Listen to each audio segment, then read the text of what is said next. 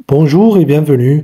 Vous pouvez suivre le match de la huitième journée de la Liga espagnole entre Girona qui reçoit Real Madrid ce samedi 30 septembre à 18h30. Ça sera en direct sur la chaîne Beansport 2.